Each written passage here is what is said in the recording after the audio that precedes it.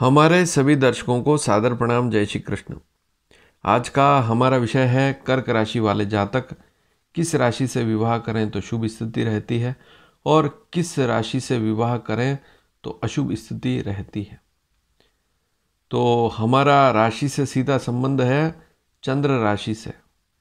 आप अपनी लग्न कुंडली खोलें और देखें, यदि आपकी कुंडली में चंद्रमा च का अक्षर लिखा हुआ होगा और यदि उस खंड में, उस भाव में चार का अंक लिखा हुआ है तो आपकी कर्क राशि होगी। इसी के आधार पर हम गुण मिलान देखते हैं और राशियों की स्थिति देखते हैं। यदि अच्छी स्थिति है तो विवाह करते हैं। यदि बुरी स्थिति है और विवाह कर लिया तो फिर समस्या रहती है। तो कर्क राशि वाले किस राशि से विवाह करेंगे तो अच्छी स्थिति रहेगी। आज आप जान सकते हैं। और किस राशि से अशुभ स्थिति रहेगी, वह भी जान सकेंगे। पूरा वीडियो देखें और एक महत्वपूर्ण जानकारी लेवें। सबसे पहले तो आप राशियों के बारे में जानें कि राशियाँ कितनी हैं और उनके स्वामी कौन कौन से ग्रह होते हैं।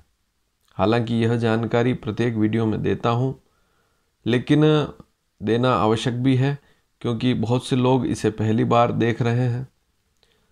तो जो दर्शक पहली बार देख रहे हैं, वे इस चैनल को सब्सक्राइब अवश्य करें। नीचे लाल बटन है, सब्सक्राइब का, उसे दबाएँ। इस चैनल के सदस्य बनेंगे। तो आने वाले समय में जो भी जानकारी मैं यहाँ पर भेजूँगा, आप तक समय पर पहुँच पाएगी।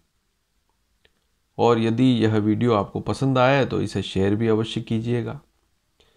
तो राशियाँ कुल होती है बारह, आप सभी जानते हैं। और इसमें सात प्लेनेट जो होते हैं, महत्वपूर्ण योगदान रखते हैं। वे ही स्वामी होते हैं इन बारह राशियों के। तो मंगल जो है, वह मेष और वृश्चिक राशि का स्वामी है। नोट कर ले में। शुक्र जो है, वह वृषभ और तुला राशि का स्वामी है। बुध ग्रह मिथुन और कन्या राशि का स्वामी है।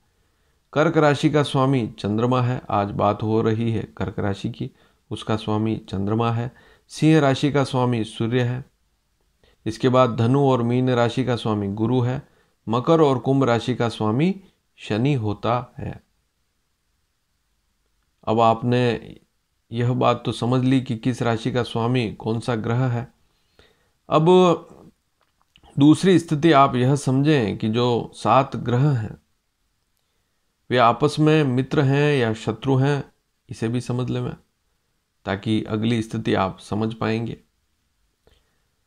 तो इसमें आज बात हो रही है कर्क राशि की तो कर्क राशि का स्वामी चंद्रमा है तो चंद्रमा के मित्र ग्रह कौन कौन से हैं? चंद्रमा का मित्र है सूर्य, सबसे पहला मित्र सूर्य, दूसरा मंगल, तीसरा गुरु।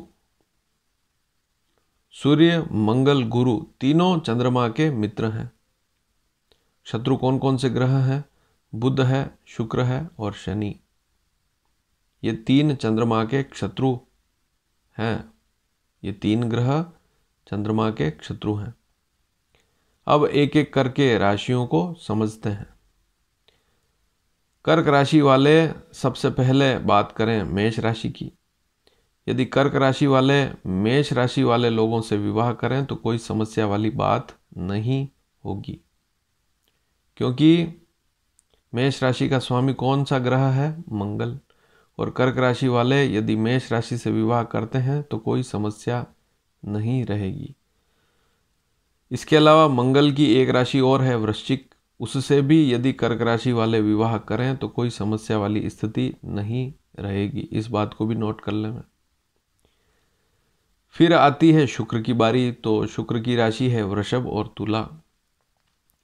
कर्क राशि वाले लोग जितने भी हैं, वृषभ और तुला से विवाह करते हैं तो वहाँ शत्रुता है, शुभ स्थिति नहीं रहती है।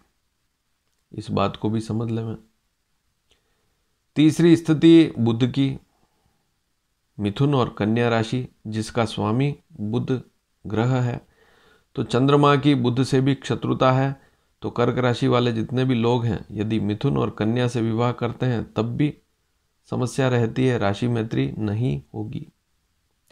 सिंह राशि से विवाह करें तो कोई समस्या वाली बात है ही नहीं। कर्क के ठीक बाद सिंह राशि आती है, बहुत सी बार इसमें लोग भकुट दोष देख लेते हैं, बहुत सी बार ज्योतिषी भी बता देते हैं, लेकिन राशि मैत्री होने के कारण इसमें भकुट दोष नहीं लगेगा। चाहे कर्क राशि की लड़की हो, चाहे लड़का हो, चाहे सिंह राशि की लड़की हो, लड़का हो, आपस में विवाह करते हैं कर्क और सिंह राशि वाले तो वहाँ पर भकुट दोष नहीं लगेगा। इसे द्वादश भकुट बोलते हैं। तो यह दोष नहीं लगेगा। यदि गुण कम है, तब भी जुड़ जाएँगे गुण, सात गुण भकुट के जुड़ जाएँगे, मिलान शुभ हो जाएगा। तो जहाँ राशि मित्रता है, वहाँ पर आपको भकुट दोष नहीं देखना है। इसके बारे में मैं पूर्व में बता चुका हूँ। जब भी आप कंप्यूटर से मिलान देखते हैं तो वहाँ पर आपके सामने एक गुण मिलान सारणी आती है। उस सारणी में वर्ण, वश्य, तारा, योनि, ग्रह, मैत्री, गण, बकुट, नाड़ी, ये अष्टकूट होते हैं और इनके टोटल गुण छत्तीस होते हैं। और यदि कम गुण मिलते हैं, अठारह से कम गुण हो तो आप उसे छोड़ देते हैं। लेकिन आप यह देखें कि ग्रह, मैत्री यदि पाँच में से पाँच पूरी है तो वहाँ पर भकुट दोष नहीं लगेगा। तो कर्क और सिंह राशि में मित्रता है, वहाँ पर किसी भी प्रकार का भकुट दोष नहीं लगेगा। अब अगली राशियाँ जो है, वह है कर्क राशि ही, माने मान लीजिए किसी व्यक्ति की कर्क राशि ही है और आपकी भी कर्क राशि है तो कर्क राशि वाले लोग कर्क राशि से विवाह आराम से करें, कोई समस्या नहीं।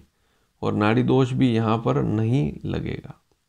चाहे एक नक्षत्र है तो उसमें भी मैंने स्थिति बता दी कि चरण अलग अलग हो तो नाड़ी दोष नहीं लगेगा। पहले चरण का चौथे चरण के साथ दोष लगता है, लेकिन फिर भी कर्क राशि में पुष्य नक्षत्र है। पुष्य नक्षत्र वालों को तो विशेष दोष लगता ही नहीं है। यदि दोनों का आश्लेषा नक्षत्र है, लड़के और लड़की, दोनों का आश्लेषा नक्षत्र है, दोनों की कर्क राशि है तब भी यह देखें कि पहले चरण का चौथे चरण के साथ दोष लगेगा, लेकिन पहले चरण का, दूसरे चरण और तीसरे चरण के साथ दोष नहीं लगेगा। तो पहले और चौथे का आपस में दोष लगता है, दूसरे और तीसरे का आपस में दोष लगता है, इसे पाद वेद दोष कहते हैं। इसके बारे में भी मैं जानकारी पूर्व में दे चुका हूँ। यदि आपने वो वीडियो नहीं देखा है तो अवश्य देखें और लाभान्वित होवें, क्योंकि आपके लिए अच्छे अच्छे रिश्ते आ रहे हैं, लेकिन आप गुण देखते ही छोड़ देते हैं। आजकल सभी लोग कंप्यूटर से ही मिलान देख लेते हैं और स्वयं ही निर्धारण कर लेते हैं। मिलान करना या नहीं करना, ये सारी स्थितियाँ राशि मित्रता पर निर्भर करती है। तो राशि मित्रता है तो भकुट दोष जैसे दोष समाप्त हो जाते हैं। अगली राशि है धनु और मीन, दो राशियाँ, ये दोनों गुरु की राशियाँ हैं। तो गुरु से चंद्रमा की मित्रता है और कर्क से धनु तक गिने, कर्क सिंह कन्या, तुला, वृश्चिक धनु। यहाँ पर षडाष्टक भकुट दोष आता है। सामान्य तौर से भकुट दोष लिखा हुआ होता है, लेकिन कर्क और धनु में मित्रता है, इसलिए षडाष्टक दोष नहीं लगेगा। इस बात को भी आप ध्यान में रखें। मित्रता है तो दोष नहीं लगेगा। तो धनु और मीन राशि से विवाह करना भी अशुभ नहीं रहेगा। इस बात को समझ लें और शनि की राशियाँ हैं नेक्स्ट मकर और कुंभ। ये दोनों राशियाँ, शनि की राशियाँ हैं, चंद्रमा से मित्रता नहीं है। शनि और चंद्रमा की मित्रता नहीं है, इसलिए कर्क राशि वाले मकर कुंभ से विवाह करें तो यह स्थिति ज़्यादा शुभ नहीं रहती है। और कर्क से यदि आप गिने, कर्क से कन्या तुला वृश्चिक धन, मकर और कुंभ। तो कर्क, सिंह, कन्या, तुला, वृश्चिक, धन, मकर, कुंभ, आठवीं पड़ेगी कुंभ राशि। तो कुंभ राशि से षडाष्टक दोष लगेगा। मकर से नहीं लगेगा, लेकिन क्योंकि मकर तो सातवीं राशि है, लेकिन कुंभ से कर्क राशि का षडाष्टक बकुड़ दोष लगेगा। वहाँ पर विवाह करना अति अशुभ होगा। बुरा योग है कर्क और कुंभ का। और कर्क राशि वाले मकर राशि से भी विवाह करते हैं तो भी राशि मित्रता नहीं रहेगी। आप चाहें तो कंप्यूटर से गुण मिलान देखेंगे तो वहाँ पर ग्रह मैत्री पाँच में से ज़ीरो आएगी या पाँच में से ज़ीरो पॉइंट फाइव आएगी। इस बात को आप समझ लें। हाँ जैसे अब एक बात और समझ लें कि जैसे शुक्र से चंद्रमा की शत्रुता है बुद्ध से शत्रुता है, शनि से शत्रुता है और मान लीजिए मकर राशि है। वैसे मिथुन और कर्क की तो शत्रुता है ही क्योंकि बकुट दोष भी लगेगा। शत्रुता है, राशि मैत्री नहीं है और नज़दीक की राशियाँ हैं, इसलिए दीर्घद्वादश बकुट दोष अवश्य लगेगा। लेकिन यदि कर्क राशि वाले कन्या राशि से विवाह करते हैं, कहीं गुण 18 से अधिक मिलते हैं या मकर से करते हैं या वृषभ से करते हैं, या तुला से करते हैं, शत्रु राशि से भी करते हैं तो वहाँ यह देखें कि कुंडली की स्थिति अच्छी हो। कुंडली का सप्तम भाव अच्छा हो, उसमें कोई पाप ग्रह ना हो, जिससे आप विवाह कर रहे हैं, उसकी कुंडली देखनी है। इसके साथ ही आपको यह भी देखना पड़ेगा कि सप्तम का कारक शुभ स्थिति में हो, सप्तम का स्वामी भी शुभ स्थिति में हो और दशाएँ भी अच्छी हो तो सारी मिलान वाली स्थितियाँ अच्छी हो जाएगी। चाहे गुण 19 हो 20 हो 21 हो, तब भी शुभ स्थितियाँ रहेगी। लेकिन जैसा कि मैंने आपको बताया कि कुंभ राशि से कर्क राशि का षडाष्टक दोष है, मिथुन राशि से भी दोष लगेगा तो वहाँ पर सावधानी अवश्य रखें। तो आज आपने समझा कि कर्क राशि वाले किन राशियों से विवाह करते हैं तो अशुभ स्थिति रहती है और कौन सी राशियाँ कर्क राशि वालों के लिए शुभ रहेगी, उनसे विवाह करना ठीक रहेगा अच्छा रहेगा? और आगे भी मैं आपको अन्य राशियों के बारे में बताऊँगा तो आप बने रहें इसी चैनल पर। धन्यवाद, जय श्री कृष्ण।